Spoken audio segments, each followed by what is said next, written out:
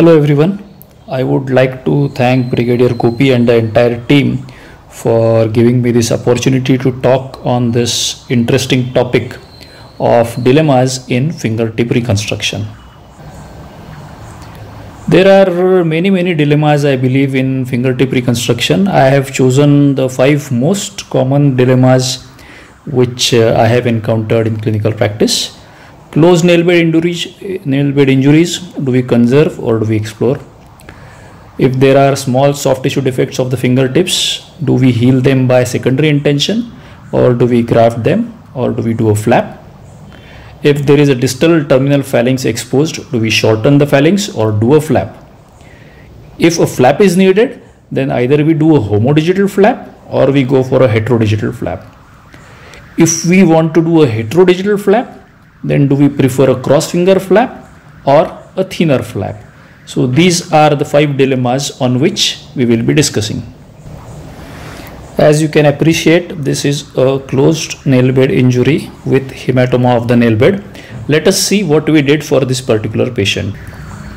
As you can appreciate, this is a nail bed injury with hematoma of more than 50% of the nail bed involved here you can appreciate that there is fracture of the terminal phalanx which is displaced a bit.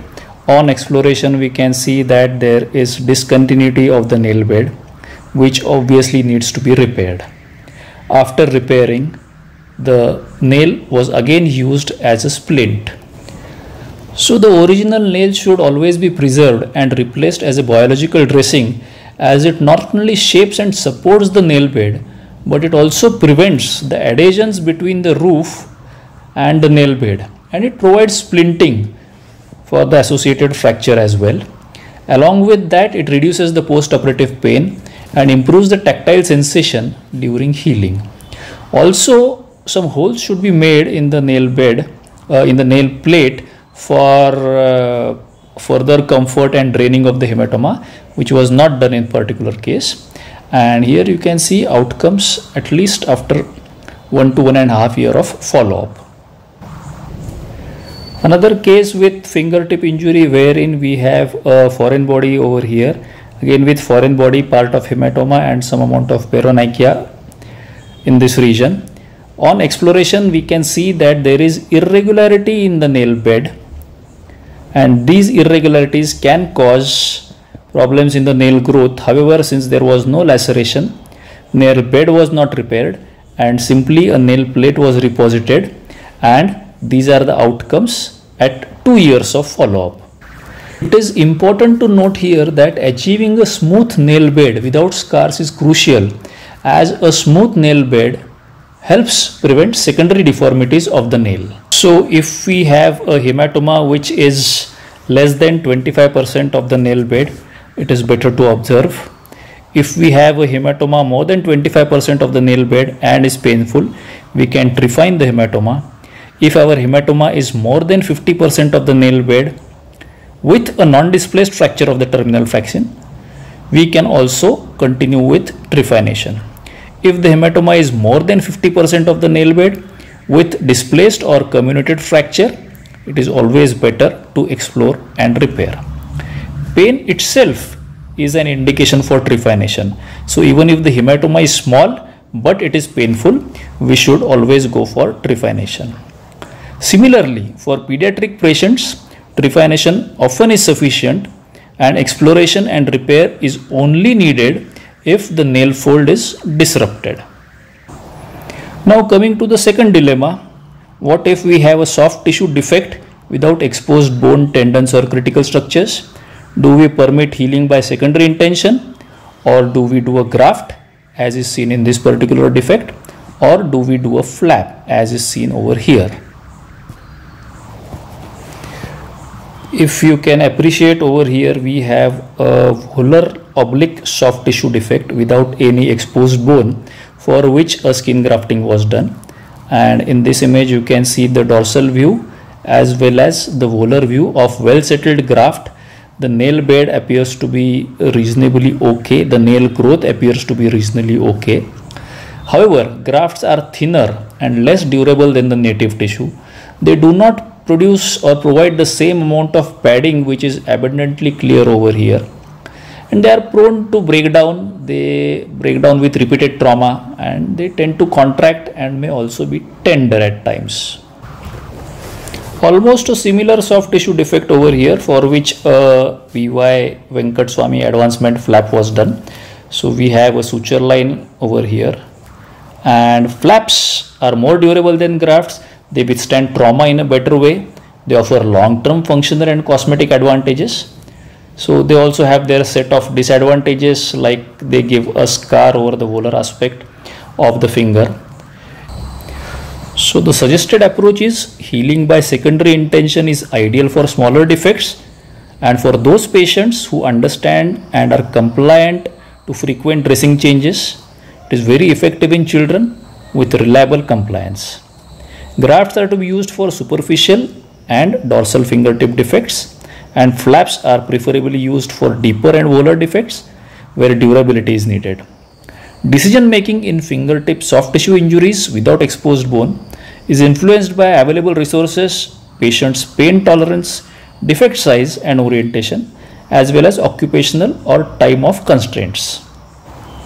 So the next dilemma, whenever we have a exposed terminal phalanx, do we do a flap or do we shorten it? When a part of distal phalanx is lost traumatically, there are essentially two options.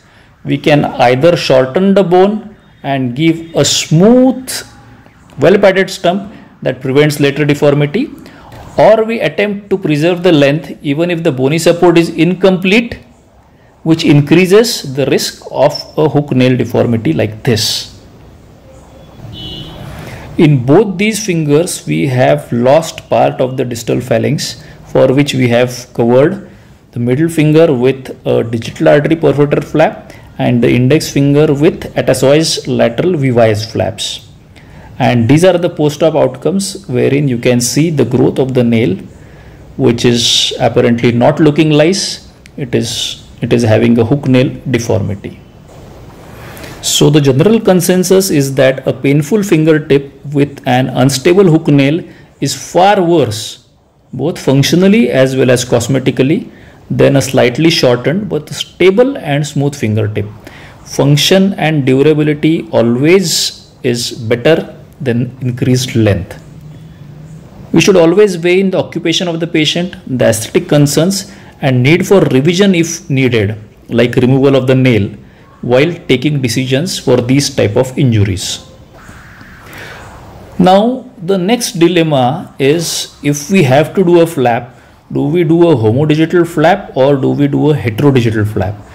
Now since we have already discussed VY advancement and digital artery perforator flaps which are homodigital flaps, I thought let's discuss homodigital versus heterodigital flaps for the thumb. Now these two flaps are homodigital flaps and this third one is the heterodigital flap. From the look of it from this view, we are unable to make out the difference between whether it is a homodigital flap or a heterodigital flap. So let us see these cases in detail. So this is the radial thinner flap for a thumb defect wherein we are using the flap from the radial as well as the thinner aspect of the thumb. Now homodigital flaps tend to utilize tissue from the same injured finger which means that the donor site morbidity is restricted to a single digit. We don't need to go looking at other normal digits for reconstruction. Patients can often return to work early because the injury is restricted to a single digit. There is minimal immobilization as compared to that with heterodigital flaps. This is a retrograde or a reverse flow flap. So the chances of it being sensate are not good or rather it will take the same time as a heterodigital flap. But whenever we do a VY or a Venkat flap, these flaps are inherently sensate and they regain sensations immediately in the post-operative period. This is the Brunelli flap, another homodigital flap for managing the thumb defects. Now here you can see the scar of the donor site of the flap. The scar on the donor site is one of the important drawbacks of the homodigital flap especially when the scar is on the volar aspect of the finger and this scar can occasionally be painful or sensitive, especially during the activities which apply pressure on the pulp. Although rare, this is a definite possibility. We then have the option of a heterodigital flap. Cross finger flap is the commonestly performed heterodigital flap. We have done this for the thumb here. We are using an otherwise uninjured finger for this flap. There can be unsightly donor scars, extensor tendon adherence and even mallet deformities which can be present. Now here if you appreciate this is the donor site of the cross finger flap which is settled beautifully and there are no complications but the likelihood of complications is definitely going to be there the color mismatch over this particular region over the donor site is definitely going to be there and these are to be considered. Just to show another example of a neurovascular VY island flap done for a fingertip defect we can easily achieve up to 1.5 centimeters of advancement. However care must be taken to prevent IP joint contracture. So the homodigital flap is best for small to moderate defects. Heterodigital flap is best for larger volar oblique defects and homodigital flap should be preferred to heterodigital flaps for most cases at least that is my school of thought. People vary in this. Always weigh the need of sensate cover, donor finger morbidity and the stages required for surgery during the decision making process. Now the next dilemma is if we decide to go for a heterodigital flap, do we go for a cross finger flap or do we go for a thenar flap which are probably two of the most common heterodigital flaps which we use in clinical practice. Now let us see these cases individually. The cross finger flap is a very well established option. It provides reliable coverage with a straightforward technique. It is particularly advantageous in terms of donor morbidity as risk of postoperative stiffness is low as compared to other flaps because of the way in which this flap is immobilized. The texture of the dorsal skin as you can see over here is not a perfect match for the volar surface. There is mismatch in quality, sensations as well as durability of this flap. The thenar flap, on the other hand, offers several distinct advantages, particularly in terms of the tissue quality. It replaces glabrous skin with glabrous skin, giving a more natural and a durable outcome. This tissue, I think, better withstands the demands of the fingertip function. The donor site is almost always closed in a linear, measure, uh, linear manner However, we did have to use a graft in this particular patient. The biggest drawback of this flap is the predominant IP flexion which is very detrimental. The oral volar plate shifts proximally. Now, as we have discussed earlier, both cross finger as well as thenar flaps are two stage flaps. Both require division at 3 weeks. Both are insensate flap and gradually they tend to acquire protective sensation at around 3 to 4 months or so but uh, even then when we have larger and volar oblique defects it is better to consider a cross finger flap. Thenar flap on the other hand is preferred for younger patients with supple joints and more so for index and the middle finger. For the ring and little finger we can consider the hypothenar flaps. Thenar flap is also considered for those patients with specific aesthetic requirements. They want glabrous skin over the fingertip rather than the skin on the dorsum of the finger, which tends to look more darker.